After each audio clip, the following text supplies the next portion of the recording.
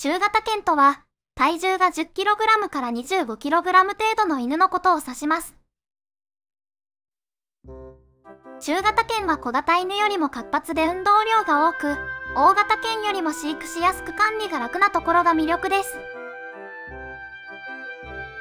大型犬は体が大きくて迫力がありますが、カースペースや食費がかかりますし、散歩やトレーニングも大変です。中型犬はそういった負担が少なくて済みますし、小型犬に比べても丈夫で病気になりにくいです。中型犬には様々な種類がありますが、日本では日本犬の代表である柴犬や秋田犬が人気です。柴犬は忠実で賢く、警戒心が強いため番犬としても優秀です。秋田県は大きくて力強く、忍耐力や忠誠心に富んでいます。他にも、コーギーやビーグル、ダックスフントなどの中型犬も日本でよく見かけます。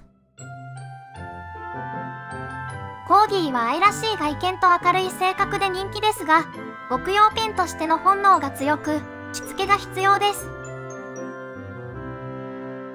ビーグルは嗅覚が優れており、狩猟犬として活躍してきました。好奇心旺盛で友好的な性格ですが、食欲も旺盛なので太りやすいです。ダックスフントは同調側端の特徴的な姿をしています。もともとは地中に潜む動物を追うために作られた犬で、勇敢で頑固な性格です。中型犬は一般的に小型犬よりも寿命が短く、大型犬よりも長いと言われています。しかし、個体差や飼育環境によっても変わりますので、中型犬を飼う場合は健康管理に気をつける必要があります。中型犬はサイズや性格がバランスの取れた犬と言えます。中型犬は人懐っこくて活発な性格の犬が多く、家族と一緒に遊んだり散歩したりするのが大好きです。